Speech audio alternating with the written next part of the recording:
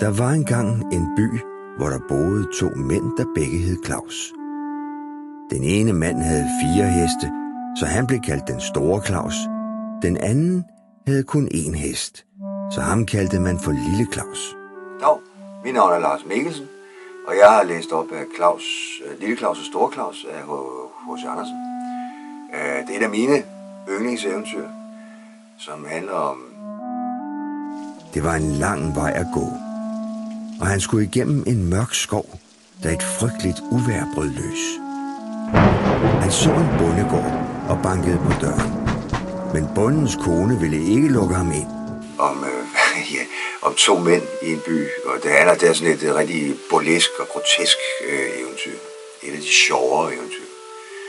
Øhm, og jeg håber, at det vil øh, sige nogle børn noget rundt omkring, at øh, vi har læst den her. Bunden åbnede kisten, men da han så degnen, smækkede han den i igen. Forundret tikkede han lille Claus om at sælge ham troldmanden og selv fastsætte prisen –